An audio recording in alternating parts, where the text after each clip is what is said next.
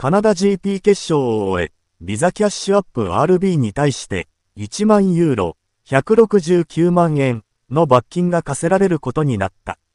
同レースで角田祐希は8番グリッドからレーススタート。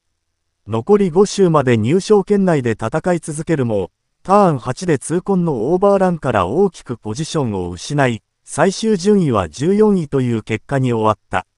だが角田に課された罰則はレース直前のもの。FIA、国際自動車連盟は、日本人ドライバーがスポーツ規則に違反したと発表している。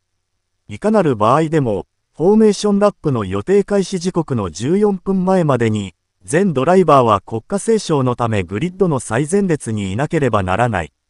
カナダ国家斉唱の場面、角田はアルボンの左にいることが確認できるが、開始時にはいなかったダズン。角田はカナダ国家斉唱スタート時、所定の位置にいなかったという。部カーブに1万ユーロ、約169万円の罰金を課し、スチュワードはビデオでその場面を確認し、ドライバーが国家斉唱に遅刻したと判断した、とその理由を説明している。